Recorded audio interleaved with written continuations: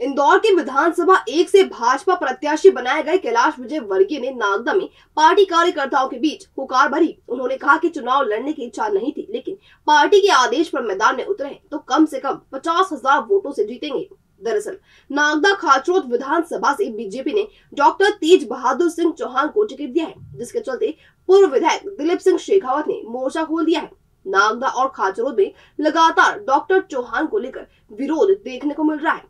इसी बीच विजय वर्गीय कार्यकर्ताओं को जीत का पाठ पढ़ाने आए थे। मैं क्षेत्र में जाऊँ या नहीं जाऊँ?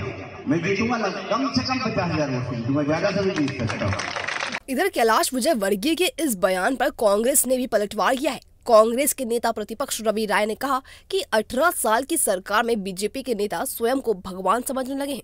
जनता से वोट लेने के लिए उनके बीच में जाना होता है और जो जनता के बीच में जाएगा जनता उसी को चुनेगी। उन्होंने यह भी कहा कि कैलाश विजय वर्गीय की ऐसी बातों से उन्हें इक्यावन हज़ार तो क्या इक्यावन सौ वोट भी नहीं मिलेंगे?